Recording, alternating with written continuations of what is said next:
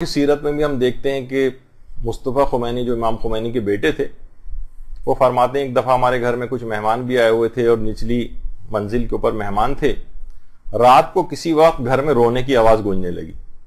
आवाज़ सुनकर मेहमान भी बेदार हो गए और उन्होंने आकर मुस्तफ़ा खुमैनी को आकर जगाया कि देखिए, शायद आपके हमसायगी में कोई फौत वगैरह हो गया है, कोई शख्स इंतकाल हो गया किसी का रोने की आवाज़ें आ रही मुस्तफ़ा खुमैनी ने आवाज़ सुनकर कहा, अरे, ये तो मेरे वालिद की आवाज़ है। जब भी नमाज़ शब पढ़ते हैं, इसी तरह से उनकी हालत हो जाती। कि जारो कतार रोना शुरू कर देते। और इमाम खुमैनी के मुतालिक खुद उनकी जौजा मोहतरमा खानम खदीजा सकाफी, बानो ईरान के नाम से जो मशहूर हैं, वो फरमाती हैं कि जब से उनकी शादी हुई, बिल्कुल इब्तदाए जवानी से लेकर और आखिर उम्र तक खानम खदीजा सफ़ी का इंतकाल इमाम खुमैनी के बहुत बाद में हुआ।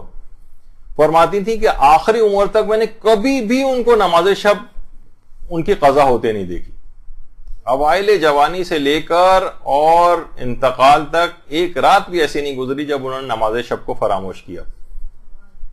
इमाम खुमैनी और इस बात के लिए गवाही आयतुल्ला फाजिल लनकरानी की भी मौजूद है। खुद फरमाते हैं आयतुल्ला फाजिल लनकरानी की इमाम खुमैनी ने मुसलसल सत्तर साल तक बगैर किसी तातुल के, बिल्कुल बचपने के इब्तदाई दौर से लेकर और अख्ताम तक, बचपन और फिर जवानी का दौर, इमाम खुमैनी का, और सत्तर साल तक इस लिहाज से मुसलसल नमाज़ शब अदा की।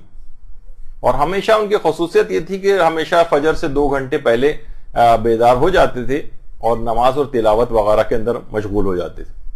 और बहुत सी करामतें उस लिहाज से नकल भी हुई हैं कि शहीद महराब आयतुल्ला देखिए तकरीबन छः अफराद छः उलमा हमारे ऐसे हैं जो शहीद महराब के नाम से मशहूर हैं, जो दौरान नमाज़ नमाज़ जमात पढ़ाते हुए शहीद हुए पाँच तो ईरान के अंदर ही हैं, जिसमें आयतुल्ला दस्त गैब भी हैं आयतुल्ला काजी तबा तबाई भी हैं आयतुल्ला कुद्दूसी भी हैं और भी बहुत से जो है उलमा हैं और इराक में जो एक शहीद हुए थे आयतुल्ला बाकर वो तो खैर ईरानी नहीं थे।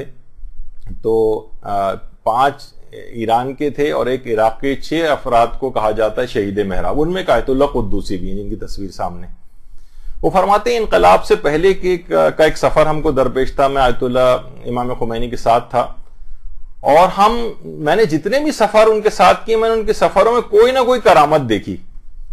कह रहे मशद से वापसी का सफ़र था, रेगिस्तानी इलाके से हमारी गाड़ी गुजर रही थी। अच्छा उस जमाने में जो भी हालात थे, काफ़ी अरसा पहले की बात है तो रस्ते में रूसी सिपाहियों ने इनको रोका। रूसी सिपाहियों ने, और तलाशी वगैरह के लिए तो इमाम खुमैनी को कुछ नहीं कहा कि तलाशी लो और खुद नीचे उतर कर, यानी कहते थे कि नामुमकिन था कि कोई रात इस तरह से सफ़र की गुजर जाए और इमाम खुमैनी नमाज़ शब ना पढ़े। इमाम खुमैनी अच्छा रेगिस्तानी इलाका था, कह रहे ना हमारे पास पानी था पानी का एक कतरा हमारे पास नहीं था। लेकिन कह रहे हैं, मैं ये देखकर हैरान रह गया कि इमाम खुमैनी ने अपनी आस्तीनें उल्टी हुई हैं, ऊपर की हुई हैं और ना जाने कहाँ से पानी उनके हाथों के ऊपर जारी हो रहा है और खुद ब खुद वज़ू हो रहा है।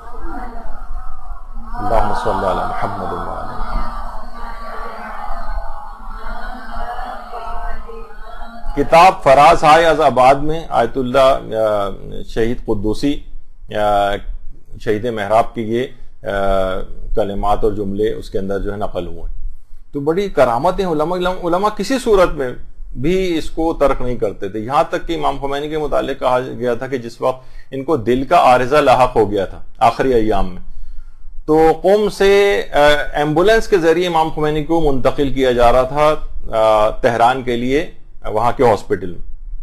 कई घंटे का सफ़र था ज़ाहिर कौम से तेहरान का रास्ते में बर्फबारी भी बहुत हो रही थी, शदीद सर्दी थी, लेकिन लोगों ने देखा कि हॉस्पिटल पहुँचते ही इमाम खुमैनी ने सबसे पहले नमाज़ शब अदा की। शदीद तरीन सर्दी, बर्फबारी, दिल का आरजा हॉस्पिटल में एंबुलेंस के ज़रिए मुंतकिल किया गया है और अभी फ़ौरन जाते ही नमाज़ शब को अदा किया। और पेरिस से जब तेहरान इनकलाब के बाद आ रहे थे तो जहाज़ में सारे अफराद सो रहे थे सिवाय इमाम खुमैनी के जो गिरिया उजारी के अंदर और नमाज़ शब के अंदर जहाज़ की ऊपरी मंजिल के अंदर मसरूफ नमाज़ शब थे। अच्छा एयर फ्रांस का जहाज़ था गैर मुल्की और नॉन मुस्लिम अमला था वो सब परेशान थे कि रो क्यों रहे वो खुद परेशान थे कि आ, आ, आगा को कोई तकलीफ़ हो गई है किसी बात से नाराहत हैं। तो लोगों ने बताया कि नहीं, जब भी अल्लाह के हजूर नमाज़ शब के लिए इस तरह से खड़े होते हैं तो इस, यही इनकी हालत हो जाती। पासदारान इनकलाब भी एक बात कहते थे कि जब भी कोई इमाम खुमैनी को हम में से कोई नमाज़ शब के लिए कभी बेदार कर देता था तो इमाम खुमैनी की निगाह करम और नवाजिश का मरकज बन जाता था हमेशा उसके एहसानमंद हो जाते थे कि इसने मुझको नमाज़ शब के लिए बेदार किया। तो यानी एक बार कोई शख्स वाकता नमाज़ शब का पाबंद हो जाए तो करामत और फजाइल उससे होने लगते हैं। अलबत्ता नीयत ये नहीं हो कि वो लोगों को करतब दिखाए और जनाब कोई फजीलतें हासिल इस लिहाज से करके। नहीं, नीयत परवरदिगार आलम की रखे तो खुद ब खुद उसके पास बहुत सी करामतें आने लगती आयतुल्ला मूसा शुबैरिया जंजानी